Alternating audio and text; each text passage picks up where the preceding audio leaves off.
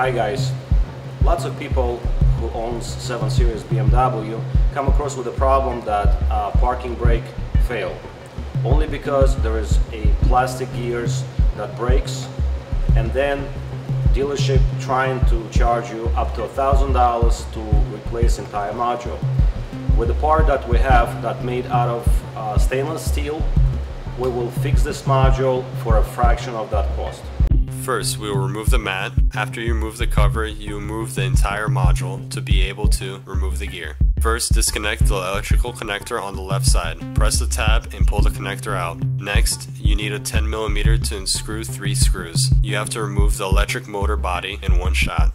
Now we need to remove a couple more pieces to release this actuator screw. Remember where the screws go. All the screws will be different size and you don't want to mismatch them. This part comes out very easy. This is a limiter. Now we're removing the stopper that holds the shaft in play. Now we need to remove two clips that will prevent the cables from coming out. We will take out the cover. If this gear is broken, you can turn the gear with your hand or with a screwdriver.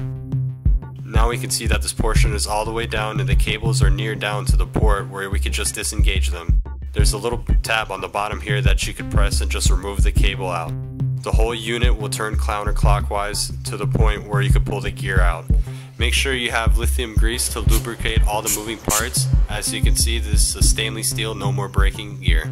This goes back and you start turning and you slide it in.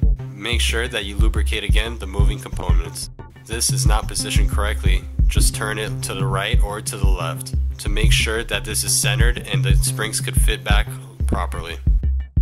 Okay guys, now this is the most fun part to put it back. You have to hear a little click when placing the cable in. That will let you know that the cable is nice and secure. When you turn the armature, make sure you turn clockwise. That's where the cables lock in.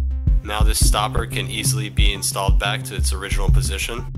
Also this other little stopper could be installed as well.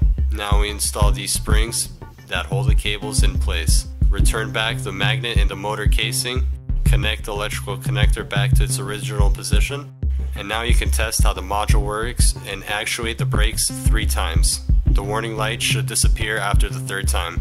That means that you did everything correct and the part that I'm about to use is a Motor King stainless steel brand. Good luck and enjoy your car.